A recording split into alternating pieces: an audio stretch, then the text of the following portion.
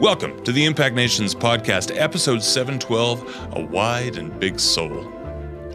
What is applied theology and why does it matter? Are we all God's children or just those who have prayed the right prayer? And how do we achieve true unity in the body of Christ?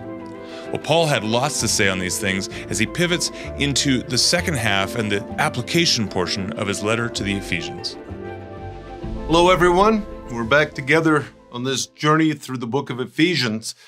And this is a real shifting day because Ephesians is, is clearly divided into two sections. And we've just finished the first, which is chapter one to three. And now we're moving into chapters four, five, and six in the first half, Paul has unveiled the mystery, and that's a key word we've looked at many times, that Christ is the meaning and the fulfillment of all things, and that we as a people who live by faith are participants in that fulfillment.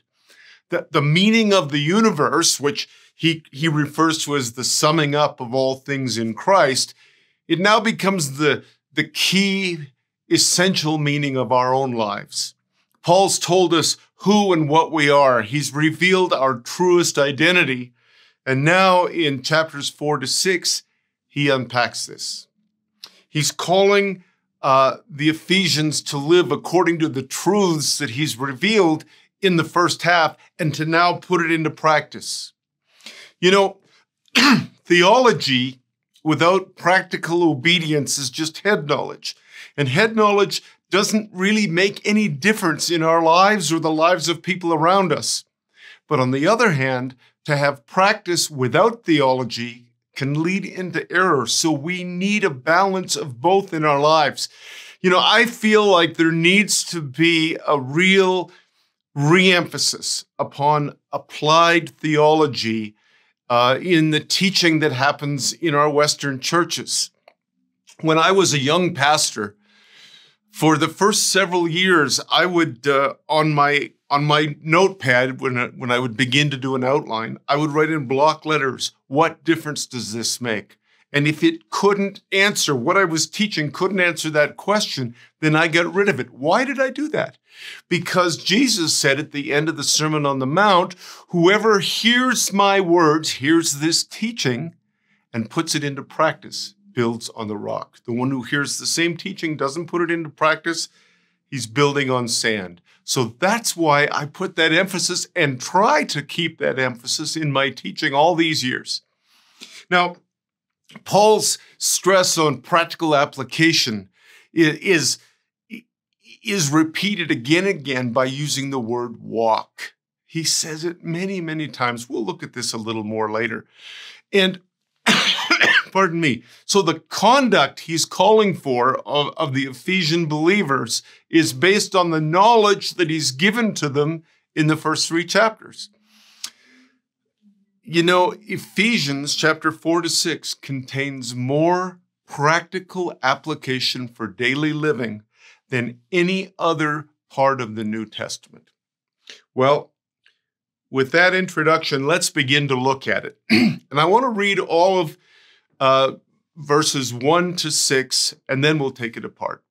Starting at verse 1 I, therefore, the prisoner in the Lord, beg you to walk in a manner worthy of the calling to which you've been called, with all humility or lowliness, and gentleness, with patience, bearing with one another in love, making every effort to maintain the unity of the Spirit in the bond of peace. There is one body and one Spirit, just as you were called to one hope of your calling, one Lord, one faith, one baptism, one God and Father of all, who is above all and through all and in all. Do you see two words emphasized again and again? One and all. And we'll look at that today.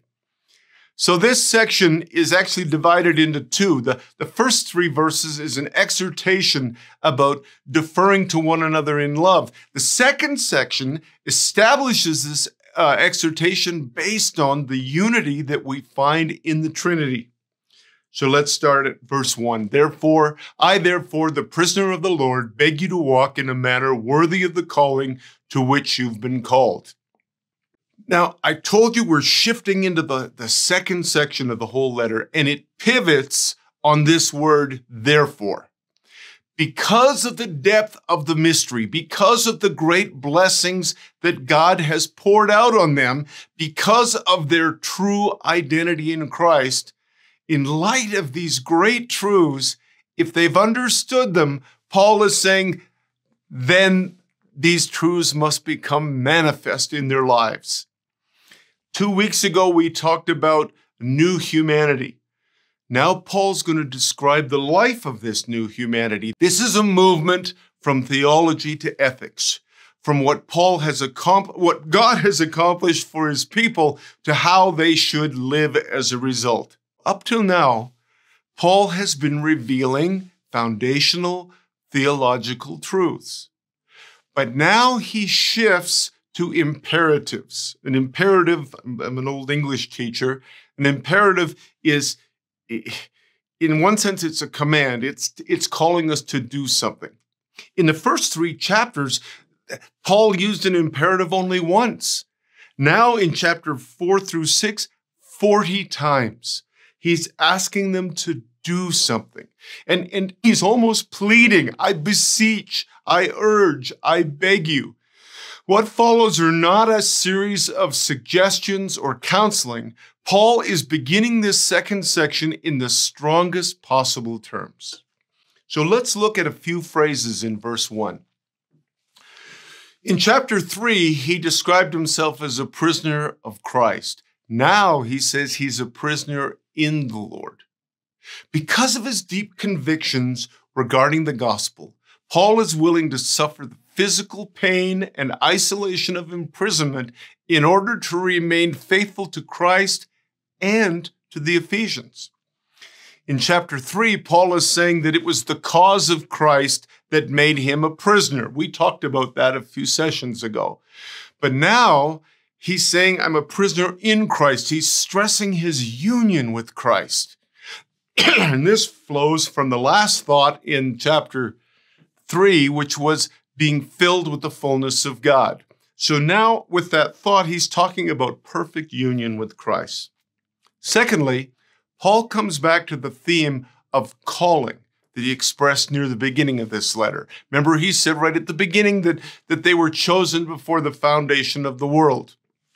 So he doesn't ever want to drift away from reminding them you are called. It's an intentional work of God in your life. And this calling includes spiritual blessings. Now we have this word walk that I mentioned a minute ago. By the way, it's one of Paul's favorite metaphors for, for how we live out our faith. He uses the word walk seven times in Ephesians. And, and his whole ethical teaching here is structured around this word walk. For example, he says, walk worthy of the calling. Walk no longer as the Gentiles do, Walk in love. Walk as children of light. He says, be careful how you walk. Folks, if we're really honest with ourselves, we're more comfortable with ideas, with concepts. You know, for the Jews, they understood that belief is only what we put into practice. And, and that's, I mean, Jesus pointed that out, didn't he, at the end of the Sermon on the Mount? But you know, the Greek thought was that ideas, theories themselves uh, are what we believe. Well, we have very much in the modern era embraced the, the Greek view rather than the Jewish view. But, but the Bible holds strongly what you believe is what you do, is how you live. Let's go on to verse 2 with all humility and gentleness, with patience, bearing with one another in love. The Greek word for humility, or some of your translations say lowliness, does not appear anywhere before New Testament times. Isn't that interesting? In all of the ancient literature, you can't find the word. You know, this is a surprise, but in the Greek and Roman worlds, humility was not considered a virtue. It was specifically listed as a quality to avoid in some Roman writing from the second century. In fact, by the late second century, one of the church fathers, Origen writes that this Christian virtue of humility became an object of ridicule. But for Paul, He's, he gives his life as an example of humility. In Acts 19, remember Paul's meeting with the elders on his way to Jerusalem. He meets with the elders of Ephesus. And he tells them, he says, I've served you with humility. It's significant that Paul lists this characteristic of humility first, because Paul in this whole section is writing about unity. And perhaps nothing provokes division more than pride. Humility encourages and attracts unity. And the second characteristic he says is gentleness or meekness. It's the same word. 11 times he uses this word in the epistles. And in fact, it's mentioned as one of the fruit of the Spirit. One of the church fathers, Chrysostom, said this Meekness, which is, remember, also gentleness, meekness is the foundation of all virtue. If you are humble and are aware of your limits and remember how you were saved, you will take this recollection as the motive for every excellent moral behavior. And not just meek toward one person and rude toward another, but humble toward everyone, whether enemy or friend, whether great or small. What a terrific quote. By the way, meekness or gentleness in, in the scriptures, it never means weakness. Instead, it's a conscious exercise of self control. It, it's a choice of gentleness instead of using power to retaliate or control. It takes great strength, actually, to walk in meekness and gentleness. Another word he uses is patience. Uh, and patience is, is the endurance that refuses to abandon hope. It means waiting patiently even when there's no immediate results. Chrysostom wrote that patience means to have a wide and big soul. I love that definition. Let me say it again. Patience means to have a wide and big soul. I think these three characteristics that Paul's talking about point us toward a, a real need for self awareness to see where are we in this. You know, for me, for example, uh, patience is sometimes very hard. I'm kind of a type A person. I think less so as I get older, but still, most of us type A's, it's hard for us to be patient. What we see needs to be done, we want to just get on with it. And then he says, bearing with one another in love. You know, there's always going to be differences in the church different personalities, different ways of communicating, different priorities, different opinions. And to ignore this is unrealistic. But with these words, Paul tells the Ephesians, don't be upset, don't be unsettled by differences, but, but make room for them, tolerate them. I think this is, an incredibly vital and timely message for today because it, one of the great pains that that I'm experiencing and that many are. I was in a discussion with a pastor on this the other day I think perhaps it is the, the stress and anxiety that COVID brought about that brought things to the surface. And, and there's such a, a, quickness to alienate within the church one from another, to, to not tolerate, certainly not to celebrate one another. So, besides the normal differences that are in any group, it seems very likely that there were uh, deeper differences between the Jewish and Gentile believers. After all, they're coming to, into one place, one new humanity from completely different cultures. Notice he says one another. Do you know something? One another, which is, is a translation for a, a single Greek word, is so important to Paul that he uses it 40 times in his letters. Isn't that amazing? Really, what he's saying is because of our common life in Christ, believers are part of each other. They're to receive one another, to pray for one another, to serve one another, to love one another, to build one another up, to bear one another's burdens, to submit to one another, and to encourage one another. And I would add, celebrate one another. Humility, gentleness, patience, forbearance could only be accomplished by the power of the Holy Spirit, not by trying harder. Remember, the theme that has been so strong through this series is that we are called to be a new humanity that is a people of the Spirit, a people of the Holy Spirit. And that's the only power source for these characteristics. Well, let's move on. Um, verse 3 making every effort to maintain the unity of the Spirit in the bond of peace. Hmm, we're having a Chrysostom day. Here's another quote from him. The purpose for which the Spirit was given was to bring into unity all who remain separated by different ethnic or cultural division, young and old, rich and poor, men, uh, women and men. It's because of the working activity of the Spirit that Paul can confidently refer to the church as one new humanity. And when he talks about the bond of peace, this becomes a key word. He, he speaks of peace eight different times in Ephesians. And here he's referring to peace among believers by choosing to embrace moment by moment humility, gentleness, patience, forbearance. This is how we maintain the unity of the Spirit in the bond of peace. That's why Jesus said to them, Learn from me, for I'm gentle and lowly. When I choose to follow Jesus in this journey, I am choosing to lose my life to find it. Remember back in verse 1, Paul declared himself as a prisoner in Christ. This is another way of saying he was yoked to Christ, he was joined to Christ.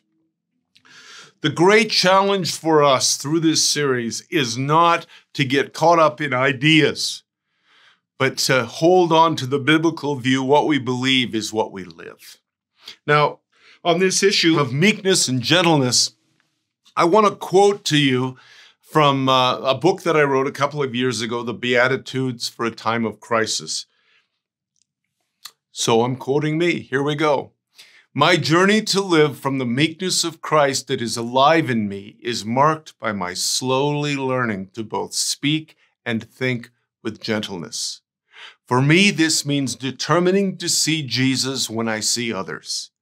In other words, to see and expect the best from them because of Christ in me. This kind of gentleness runs contrary to my natural state, which is anything but gentle.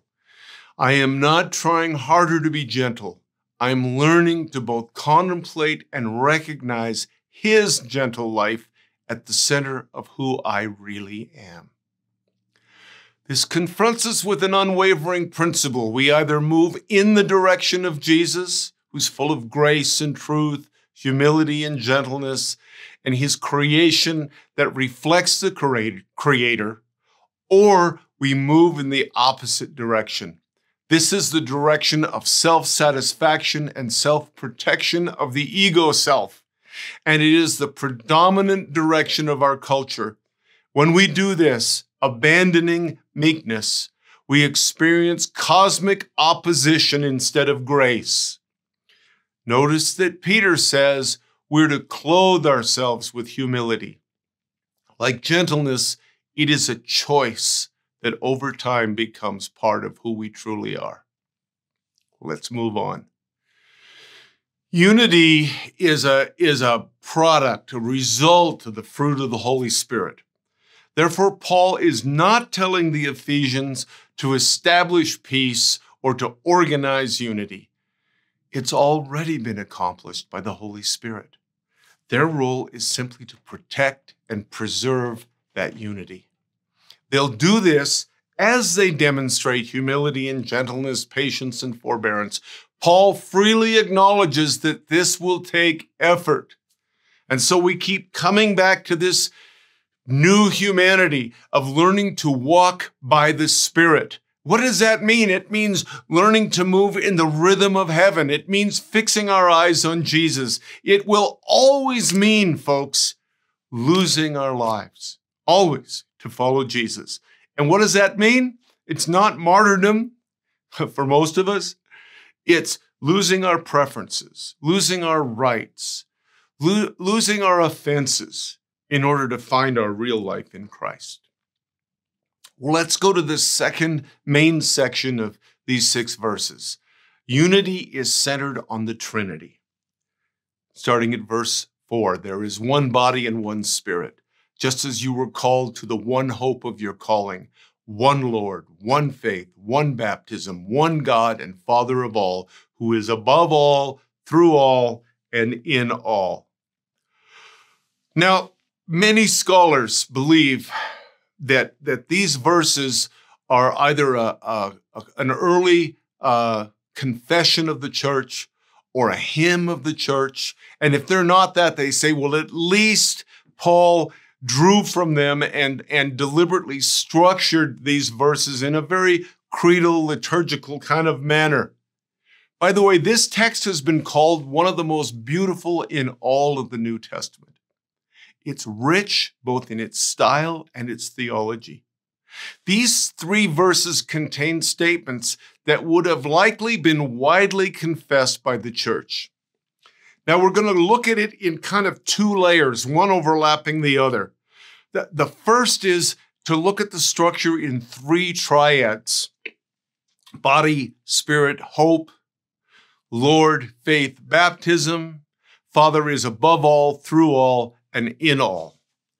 The principal theme of this passage, as I said, is unity. And Paul uses the word one seven times, right after the other, one after another. He's using one to stress not only unity's importance, but that unity reflects the essential nature of the Trinity and therefore the cosmos. So we're going to look at these seven ones but remember the triads. There is one body and one spirit, just as you were called to the one hope of your calling. So let's look at one body. It refers to the universal church. I've told you before, Ephesians is the most universal of Paul's letters. He's not speaking to a particular problem in Corinth or Thessalonica. He's speaking to the church. Chrysostom, again, what is this one body? They are the faithful throughout the world in the present, in the past, and in the future. Isn't that interesting? This is a bigger vision of the universal church, transcending even time. Paul is using the metaphor of one body, and it's an entirely new concept in the New Testament. It shows up in, in Romans and First Corinthians and Colossians. It is a powerful picture of a living organism that is marked by two things diversity and unity. Ephesians 1:23 and the church is his body which is made full and complete by Christ who fills all things everywhere with himself. And then in chapter 5 for no one ever hates his own flesh but he nurtures it and tenderly cares for it just as Christ does for the church because we are members of his body. It's a wonderful metaphor. And he says, one spirit. The Holy Spirit, the third person in the Trinity, is the unifier in this triad. And he never goes very long, does he, without reminding the Ephesians they are people of the Spirit. It is the life of the Spirit that marks, empowers, imparts joy, peace, and grace. This is why we must live in the Spirit. We talked about this. I taught on this a few weeks ago, and Tim and I had a discussion about this. Actively being a people of the Spirit and not just theoretically. Remember, what we really believe is what we live. Thirdly, one hope. As the church, their hope is not wishful thinking, but eager expectation and complete certainty in what God has promised. Now, New Testament hope involves both the present assurance that he's with the Ephesians in the midst of all they're going through, but also it means a certain expectation, uh, a certainty that they will um, inherit the kingdom of God. Let's look at the next triad one Lord, one faith, one baptism. This very, very likely was a baptismal formula that would have been spoken publicly when people were baptized. One Lord. Paul now considers the second person, Christ. When he speaks Lord, he's speaking of Christ. And throughout this letter, eight times, he refers to Christ as Lord. Now, I want you to see something really, really interesting the single most central scripture, foundational scripture for, for Jews of the Old and New Testament was called the Shema. And it was recited by every devout Jew every single day. And it was Deuteronomy 6 4. Hear, O Israel, the Lord is our God, the Lord is one. Ever since his encounter on the road to, to Damascus, to Damascus, Paul has been unwaveringly convinced that Jesus shares this identity, this title, this authority with the Father. In fact, this is reflected in one of the most famous verses. I once heard N.T. Wright say this is his favorite verse in the Bible 1 Corinthians 8 6. For us, there is one God, the Father, from whom are all things and for whom we exist and one Lord, Jesus Christ, through whom are all things and through whom we exist. You see, for Paul, they're inseparable. One Lord is a declaration made uh, to the people of Ephesus who remember lived in a polytheistic society. We talked about that. We talked about the the the the uh, temple cult and the imperial cult. So he's making a declaration there's one Lord. Jew and Gentile are united in one Lord. Let's go on to the next one one faith. Now, we can look at this two ways objectively or subjectively. Objectively, faith is the clear testimony that was in the young church. There was already a common faith, a set core of convictions. But I think he's also speaking subjectively, that, that faith that is exercised by all believers. Um, in Ephesians 1:15, he says, Ever since I heard of your strong faith in the Lord, Jesus, and your love for God's people everywhere. So he's speaking about the faith as this collection of common convictions and beliefs and the exercising of their faith. And then we come to one baptism. And almost certainly he's referring to water baptism. Paul's point here is that the only baptism that exists is baptism into Christ by the Spirit. Because certainly the Christians were not the only people who used the rite of baptism. But he's saying this is the one baptism, baptizing you into Christ. Let me give you two classic scriptures. Colossians 2:12. For you were buried with Christ when you were baptized, and with him you were raised to new life because you trusted the mighty power of God who raised Christ from the dead.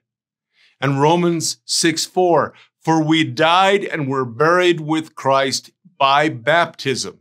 And just as Christ was raised from the dead by the glorious power of the Lord, now we also may live new lives.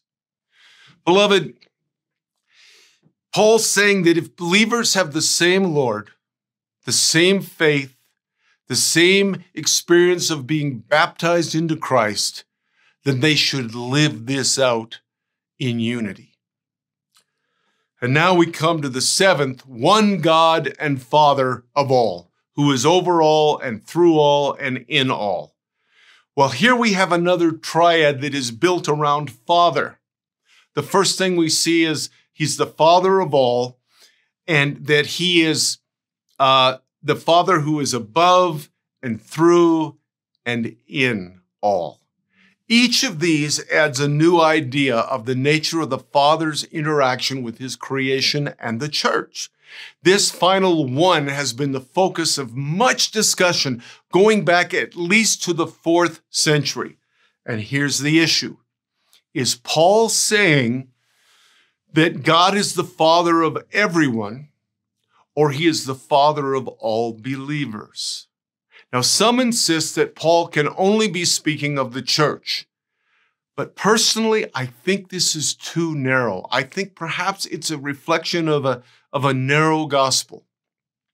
Paul uses inclusive, universal references elsewhere to the Father. Romans 11, 36, for from him and through him and to him are all things. We already looked couple of weeks ago at, at chapter 3, 14 and 15. For this reason I bow my knees before the Father, from whom every family in heaven and on earth takes its name. An important theme in Ephesians has been stated several times up to this point. Watch this. It's we're on the all word. We've looked at one in the midst of it. I also want to remember all. Chapter 1 verse 10. He will sum up all things in Christ. 111. He works all things to accomplish his will. 122. He has subjected all things to Christ. 3 9, he has created all things. But if we look closely, there are passages which also express that some have been adopted, and he gives some the right to be called the children of God. Jesus recognizes some as the Father's children and others not. So, how are some God's children and others not God's children? I want to go to our dear friend Brad Jersak because he's written on this very issue, and I'm just going to quote Brad because he's so clear.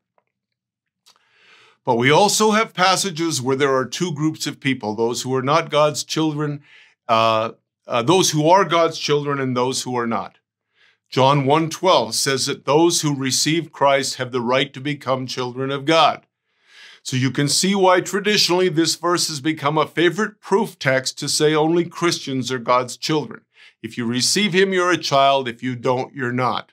This seems clear, but as we'll see, this more exclusive sense of being Abba's children is not actually about confession of faith or saying the sinner's prayer and then claiming our faith made us God's children. Rather, God's children, in the narrow sense, are those who resemble their father by imitation.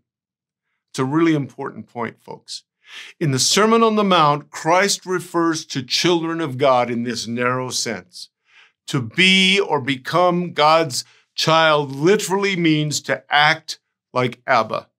We resemble God when our DNA as Abba's children is actualized, is put into practice. See here, this is what Jesus said. but I say to you, love your enemies and pray for those who persecute you, so that you may be sons of your Father who is in heaven. For he causes his sun to rise on the evil and the good, and sends rain on the righteous and the unrighteous. So we see the Bible speaking of God's children in two distinct ways. So in what way is it that, that some are God's children and others are not? Well, to look at this issue, I, I want to quote our dear friend Brad Jersak. Uh, he's written an excellent article, and, and I want to just share that with you. But we also have passages where there are two groups of people those who are God's children and those who are not.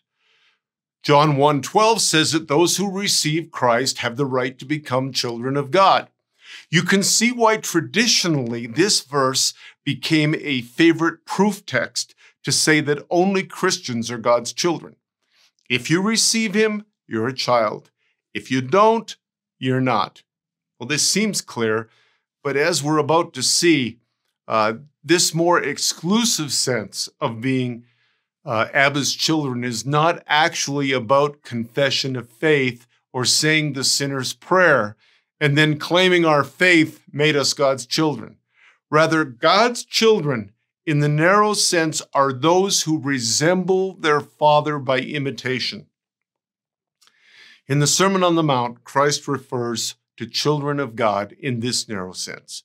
To be or become God's child literally means to act like Abba.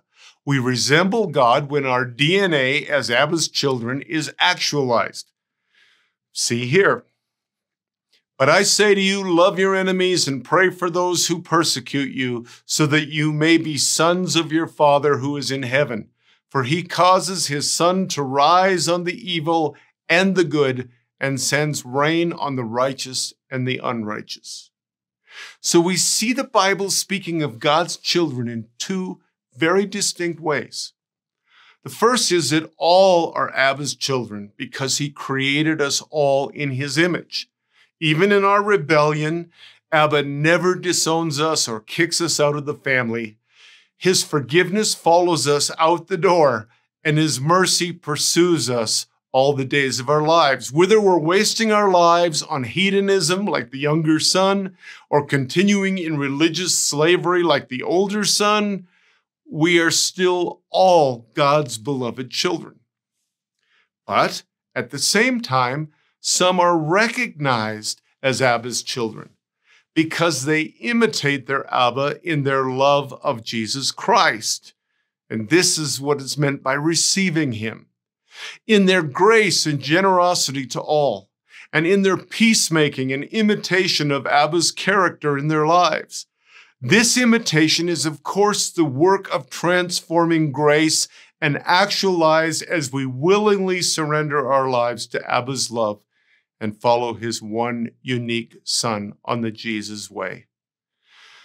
So I hope that helps us to understand the two aspects of, of being Father's children. Well, let's move on. How the Father interacts with his creation. Paul uses three words over, through, and in all. Quoting Origen, the, one of the church fathers that I love, God's majesty is denoted by the phrase above all. God's all sufficiency is denoted by the words through all. It also belongs to the power of God to penetrate into all, so that because of his being in all, no one is entirely void of him. Isn't that interesting? He is over all. Paul is declaring the uh, Father's sovereign position over his creation, which includes you and I. Every aspect of our lives, every situation, he is sovereign over. Now, if we take this sovereignty seriously, then it leads to confidence and contentment in the midst of every challenge, of every struggle, because we know the transcendent Father has got it all under control. He not only has authority over the cosmos, he watches over it and cares for it. So being overall includes you and me. Secondly, the Father works through, through all. And I think this really means he works through us. Remember, we'll go back again to the Abrahamic covenant, Genesis 12, that, that the blessing of God comes to through and from a people. He, his church, we're his representatives. We are the outworkers of who he is and what he desires. If we take this seriously, we will put it into practice. If we take it seriously, we'll always remember we are on assignment. We're not passive. I need to remind myself of this uh, often in fact, I was in a discussion yesterday about this. I cannot be passive. Remember in chapter 2, we saw that Paul told the Ephesians they are God's workmanship intended for good works. Thirdly, the Father is in us. Here we see the outworking of our understanding of the Father of all. Do we see and look for the triune God only in our fellow believers? And not outside of that boundary that we create? Do we fundamentally see the world in the terms of us and them? Or do we see the activity of the Trinity always at work all around us? This issue directly impacts our gospel message. If we see the fatherhood of God exclusively, it's just for believers. This leads to a gospel that says you are alienated from God if you are not a believer. You are out. you, you do not know him. So you need to repent so that you can know him. If we see the fatherhood of God inclusively, then our message becomes one of coming home, which I think is the central message of the, the story of the prodigal son. It's a gospel that says, Your father has never been separated from you for a moment. He's never excluded you. He has always been with you. So you can turn your heart. It's an invitation. You can turn your heart. You can turn your life to Him to live in the goodness that is already yours. You see how important it is how we see the fatherhood of God? Well, let's look at the Trinity. Paul's discourse on unity, here's another paradigm, is built on the Trinity. Because the Trinity is both the model and the life source for our unity. Perfect union in the midst of diversity is what flows out of the Trinity. Three persons distinct in one. The church is empowered and vitalized by the Holy Spirit. We see that in these verses. We have one hope. The church is united in its one Lord, that's Christ. We hold on to and live a common faith. We identify with Christ through one baptism. So you see the Spirit he presents first. Notice the reverse order of the usual Father, Son, and Holy Spirit. He presents the, the role of the Spirit and then of Christ, and thirdly, the Father is supreme over all, and he operates through and resides in all. And this is true, Paul is saying to the Ephesians and by extension to us. His, his operating and residing in all is true both individually, you and I, and us as a community. The Trinity is both the model and the center, the life source of our unity. And this is why I continue to insist that we must focus, we must meditate, we must live our lives with a great awareness of the Trinity. As I've said to you before, God is not like Trinity, God is Trinity. And so, just to wrap this up, in these six powerful verses, Paul has laid the foundation and presented his introduction for all that will follow, all the very practical exhortations that are about to follow this. We need to consider carefully how we view the fatherhood of God. It will determine the gospel that we carry. So, this is not a small issue, this is central. As always, we are faced with the question Is our gospel beautiful? God bless you. We'll just meet together with Tim in a minute or two to discuss some of the issues that have come up today. Now what? The gospel is meant to be lived. We now invite you to be a part of the discussion as we talk about how to apply this teaching. YouTube viewers can use the comments section below. You can also email your questions and comments to podcast at impactnations.com. Well, as you said, we have pivoted uh, and definitely a shift in tone uh, yeah. in terms of that practical application. Yep. Um, interesting to learn a little bit about applied theology. Uh, I, yeah, we'll talk about that in a second. But I forgot. I got to tell people, uh, remind people about our Survive to Thrive campaign. Mm. Uh, we are, as our uh, Impact Nations family knows, are in the throes of our annual Survive to Thrive campaign, and we always surround this around Mother's Day because uh, we love leading up to Mother's Day. We love to just highlight these incredible mothers and mothers to be in Uganda, these young women who are overcoming incredible odds um, with the help of Jesus Christ, who has come alongside and empowered them. And, uh, you know, our team is there to help these young women discover their destiny and rec- recognize that they were born to have dignity, and they do indeed have dignity in Christ. Uh, and so, the some of the stories that we see coming out of Uganda are so beautiful of these young women. Um, as I say, overcoming abuse, homelessness, neglect, uh, and these these pregnant teens with nowhere to turn, and suddenly they've got hope again. Yeah. Uh, in fact, here, just I'm going to have Isaiah play a video. So if you're watching on YouTube, you're going to see the video, but it's it is in English and it's only about 10 seconds long. Uh, but uh, this this is just a glimpse of uh, what restored hope looks like. Here's here's a young lady from Uganda saying thanks. Thank you, Remnant Generation and Impact Nations for saving my life and my baby. Now that's just that was a snippet taken out of a, a longer video where she tells her story, and uh, you can see that story at impactnations.com/thrive. We've actually got a few videos on that page, uh, and uh, I watched one last week, it's and I teared up. yeah, it's it's quite extraordinary.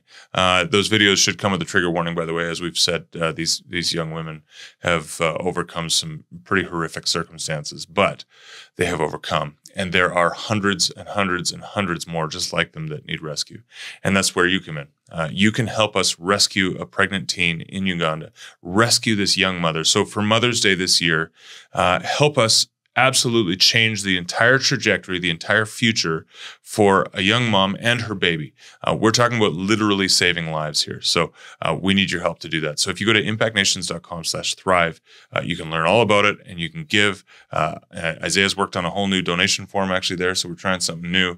I think you're going to like it. Uh, so go check it out, impactnations.com slash thrive.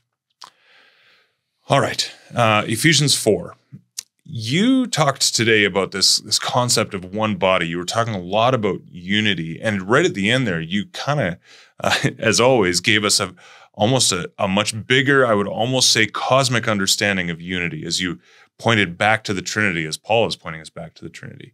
Um, and yet you you also continue to bring us back to this idea of diversity so the, the the family, this one body, is diverse and unified, and sometimes it can feel like, especially in this culture at times, that there is tension between those things. Um, how do we? How do we live? How do? Let me ask. I got so many questions. How do churches actively pursue diversity? Let's let's start with that. And Okay. why is it important? Actively pursue diversity, diversity of gifts or cultural diversity. You name it. All right. Well, I think both cultural- are important. Cultural diversity, we've talked about before. I think we've got to be intentional and proactive and uh, reach out into different cultures, not only uh, corporately, communally, but the individual members. Yeah. Diversity of g- gifts and callings. And we're going to talk quite a bit about that next week. Mhm. Um, and I believe that one of the things is you have a culture, just as we've talked before, having a culture that that is um, mistake tolerant and celebrates risk. Mhm. We need a culture that celebrates our diversity, that celebrates one another. Uh, I always encourage people find a place where they celebrate you, not tolerate Mm, you. yeah. And um, we need to teach some out of uh, Romans 12, out of 1 Corinthians uh, 12, 13, and 14 to see that there, there's this richness that comes uh, not as as we try to do a sameness, but rather, wow, we really celebrate what you've got, what you bring, hmm and not to be threatened by somebody else's gift. it can come at the co- i would say that unity sometimes can come at the cost of diversity because we tend to perhaps kind of close down like well if we only have people who think like us uh, then we're more likely to actually have unity um, and yet unity has to be so much bigger and must be christ-centered because i think sometimes by thinking that way we we we uh, move into uniformity, not Yep. unity, Yep. and there's a big difference between those two words. Uh, and uh, uniformity can become anything other than Christ centered, whereas unity must only be Christ centered. It's the only way to have it. Yeah, exactly. What What's the difference, do you think, between uniformity and unity in, in practice? Unity is we are united in Christ. And and you know, uh, Ralph Neighbour used to say 35 years ago, the Christ in me recognizes the Christ in Mm. you. And that's why Paul said, I'm a prisoner in Christ Yeah. this time. Yeah. Uh, and and I think that's the key, recognizing, you know, um, St. Francis of Assisi, he he described um, maturity Mhm. in in appreciating everyone. Yeah. Find wow, that's great about you. Mhm. So I think that that that's it. Uniformity is always we're back to exclusiveness. Mhm. We're back to fear. It's got to, we got to keep it under control. You cannot control the Holy Spirit. Therefore, if we're a people of the Spirit, you Yeah. can't control it. Mm. Uh, I the the unity you describe is so beautiful, and yet it means we must continue to just keep coming back to Christ is the center, and we've got to remind one another because it's so quick, it's so easy to veer into uniformity and think you're accomplishing unity because nobody's disagreeing with one another. Yeah. Uh, And we, we can, even in unspoken or spoken ways, mhm. demand that uniformity to flow out that, well, we all have the same political views. Sure. We all have the same views on uh, refugees and immigration. Sure. We all that, it, that's where it spills out and becomes, I think, even more unhealthy. What do you think about theological views? Because I think that it's important for us to understand, for starters, that there are some things that we must be. Yes. Uh, I don't know if closed-minded is the right idea, but you know we must stand firm These on are the these. foundations of our Christ lived, died, rose again, and we find our salvation in Him and in Him alone. Uh, those are the things we must hold firm to. But there's lots of things that my friends and I, and, and even church leadership and stuff, may disagree with with me on Yeah, and yet we can still be unified in Christ. absolutely, absolutely. And and you know, in terms of so that we don't just drift off, because remember, I I I talked today that that our theology's got to be put into practice. Mhm. but we've got to have theology. Yeah. If we don't have those basics, I, you and I know that our statement of faith is the Nicene Creed, Indeed. and and I think that if we would be more creedal, we would understand. Oh, this lines up. Yeah. Uh, lots to think about there and very humbling. And I think you, you talked about humility as very countercultural uh, at the beginning of today's uh, teaching. And, and countercultural even in Paul's day, uh, Yes. where they, they were not even really using the word uh, for the most part. And when they did, it was more of a, a derision than something to be praised. Uh, it was humble behavior of Mm. those who are, are, Mm. are walking in humility. And yet, if we are going to walk in unity, we must find a way to walk in humility. What is what does humility look like in practice? Uh, like, what are the marks of someone who is walking in genuine humility? Genuine humility. Okay. Um, I think that they are not trying to draw attention to themselves. Mm. I think that they are preferring others. Uh, I think that Philippians chapter 2, the first four verses, are a wonderful example of that. That humility isn't just an attitude, it's a choice. Mm. And I choose to empty myself. We're back Yeah. to kenotic love. Mhm. I choose to prefer you. And do you know the other thing that, that I've been thinking about? And maybe I'm just going to create a problem for you now. But as I look at sermon series, and I recently was doing, I was just checking out some churches and I look at them, they're not humble series. Mm.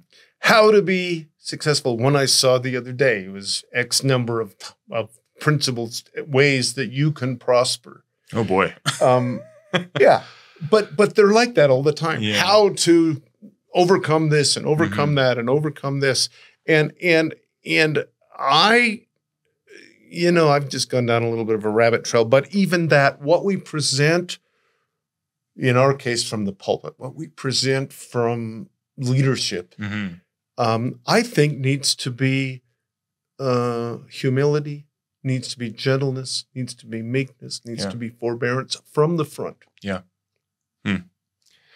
um, you read that quote from Brad, and I, it was pretty challenging because it, uh, this has often been a topic of discussion in my house in terms of uh, are we all children of God or just those who have surrendered their lives to Christ, uh, turned to Christ, however you want to say it, uh, pray, prayed the prayer if you're from that particular tradition. But um, Brad, as always, in that quote that you had there, did a good job of actually just facing the facts, which are there are scriptures that say both uh, or imply both at the very least.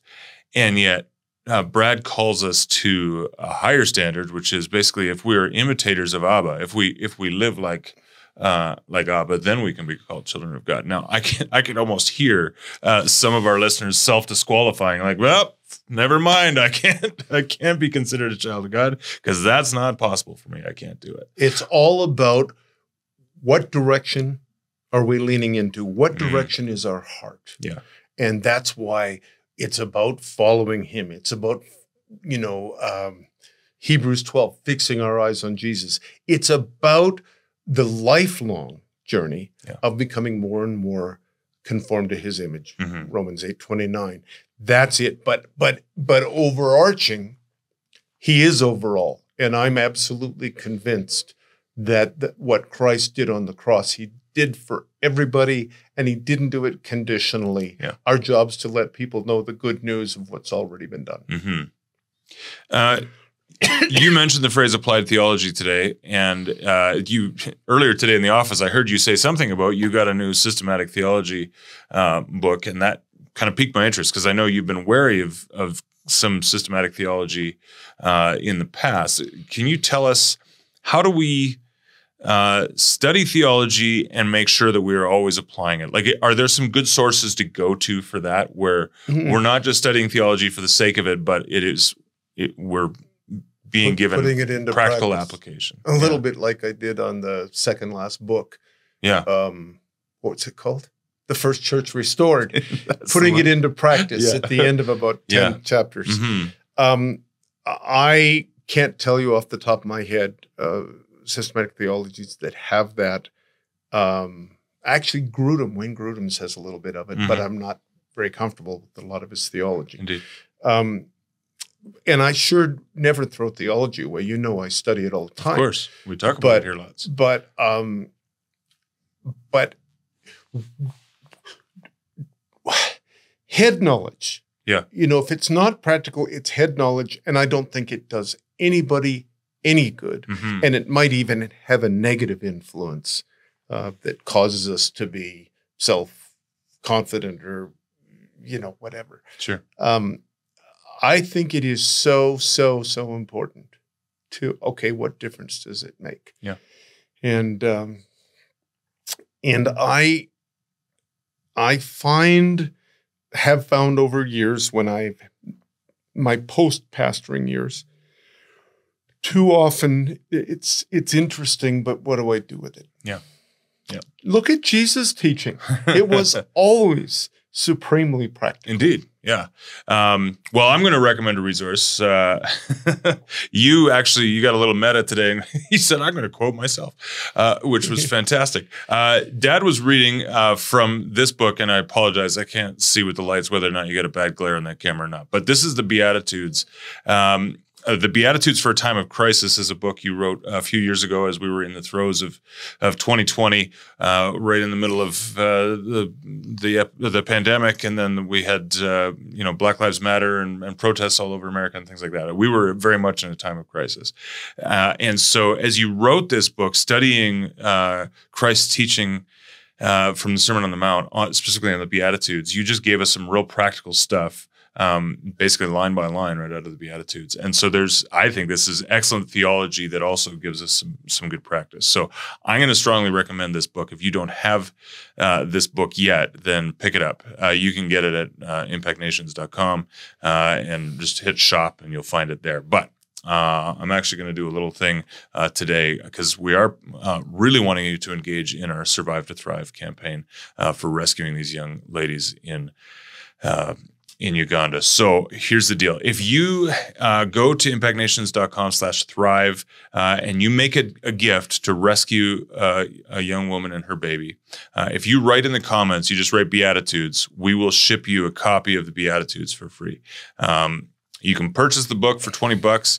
Uh, and hey, if you want to add that onto your onto your gift to cover the cost of that too, that's even better. But uh, gifts of $50 or more, uh, write Beatitudes in the comments and we'll ship you a copy of this. Um, and I know it's really going to bless you and encourage you and equip you uh, for uh, meekness, if nothing else. It's it's actually my favorite Really? of the books that Yeah. I've written so far. Yeah, we've got a lot of really, really good feedback on it. So um, if you haven't read it, check it out, and you can get that by making a fifty dollar gift at uh, impactnations.com/thrive, or you can go buy it for twenty bucks uh, at uh, at the Impact Nations uh, website, impactnations.com.